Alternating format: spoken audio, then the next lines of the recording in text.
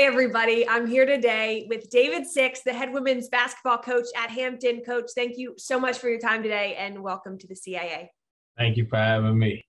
And now it's really interesting because Hampton has been in three conferences now in the past six years. So you're used to navigating this transition. And so, how are you going to approach this with your team now that you head into the CAA? Um, obviously, uh, uh, it's probably a step up in, in terms of uh, challenges or whatever. But I don't, I don't, you know, we prepare uh, for everybody uh, the same. So uh, we don't take anybody lightly. So I think for us, it'll just be uh, um, doing little things like, you know, making sure that our execution is a little better, uh, making sure that that uh, we in the best shape possible and and uh, just playing hard. So I, I, I, you know, at the end of the day, um, it's a step up for us. No, no doubt about that. But basketball is basketball. So who's your team coach? Who is Hampton women's basketball? What are these ladies? What are they bringing to the court this year specifically? Well, uh, we we have a, a you know influx of uh, new players.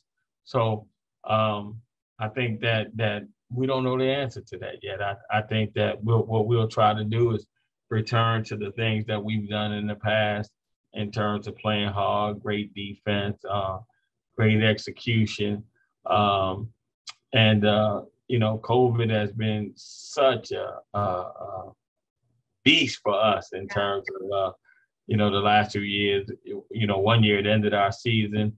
Uh, last year, everybody on the team got it. We we we missed uh, an entire month wow. of the season, so we hoping that those things don't happen. Uh, and and then we're, as I said before, we're trying to return to our core values, if I if you will, in terms of what we do and basketball wise. And so we'll see battle tested for sure. I think everyone has sort of been in that predicament of having to face, right, things that we didn't expect to happen. But how have you seen those core values strengthened because of adversity?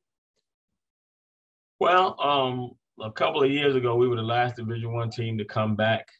Uh, we didn't come back to November 20th. Uh, we started practicing on December 4th, and uh, we played on December 7th. Uh, that's not going to be the case this time.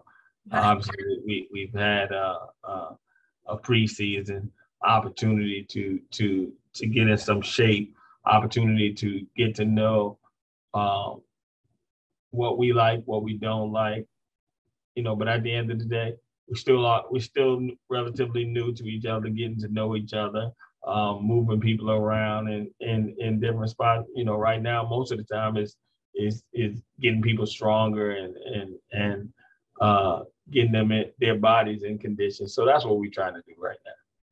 Looking forward to seeing the product of all of that on the court very shortly. And coach, I was looking into your background and what I thought was so interesting was what initially brought you to Hampton, Virginia was being in the United States Air Force. I mean, wow. How did that season of your life really propel you into coaching but also shape who you are as a coach? Well, you know, I played um, and uh, as uh, my time in Air Force One, you know, finished, I, I uh, started coaching in high school. Uh, and uh, I started on the men's side, coaching them. And one year, a coach left and, and they asked me to do it. And I said, nah, I really don't want to coach girls. You know, so he came back to me and he was like, can you do it till uh, I find somebody. And I said, well, yeah, okay, but you got to find somebody. And and almost it's been a long time, but I, I started coaching on the women's side and, and then I moved into college. So um, right from the Air Force. So uh, went to Hampton High School to coach and then to uh, Hampton University. So I didn't even have to move houses. you switched to the women's side and you've never looked back. oh, Love no, it. What? As they say, I made my bones on the women's side. Listen, not a bad place to be at all, but how much joy has that brought you, you know, to see this kind of unexpected life, you know, transition take place and then to be able to pour into so many women. I mean, you're in such a pivotal role. So, how's it really brought you joy um, in your life? well, it's brought me joy because I've, I've had the opportunity to change uh, young women's lives by first in high school by sending them to college and then uh, in college by giving them the opportunity to change their life through a college degree. So, um, and then uh, I really believe this. I coming from the men's side and then watching, uh, I see the disparity that that women face, uh, and oftentimes they need an advocate, uh, and who has been on the other side as well. So um, I definitely see that that that uh, the women's game has made strides. is is, is really a, a, fundamental game, great game to, to watch. Um, great athletes uh, on both sides. I mean, uh, I love uh, the relationships that you can develop on this side or whatever. You know, I love that.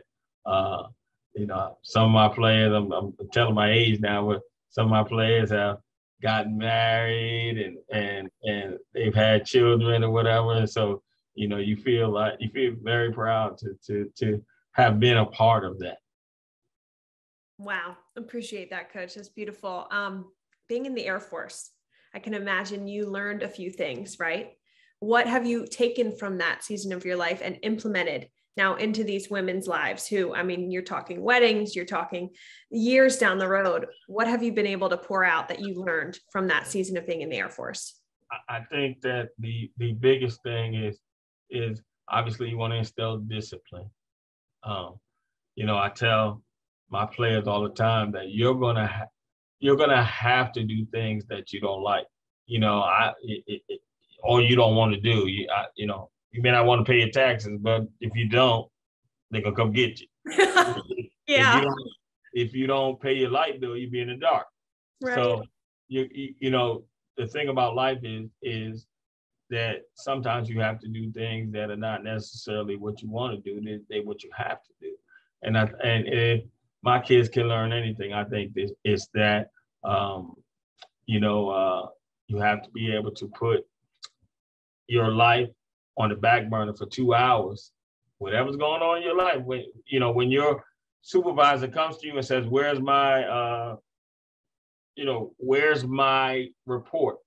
They don't want to hear, well, I, I didn't feel that. No, where's my report? So life is it we teach them life lessons here, um, how to maneuver in this in this game they call life. And and uh, I'm proud to, to say that we've done a pretty good job of that believe that so much. I needed to hear that. Thanks for teaching me, coach. I appreciate it today. And this will, you know, teach so many who are listening and watching this video. So really appreciate your time and looking forward to getting to know you and the team more throughout this season. All right. Thank you.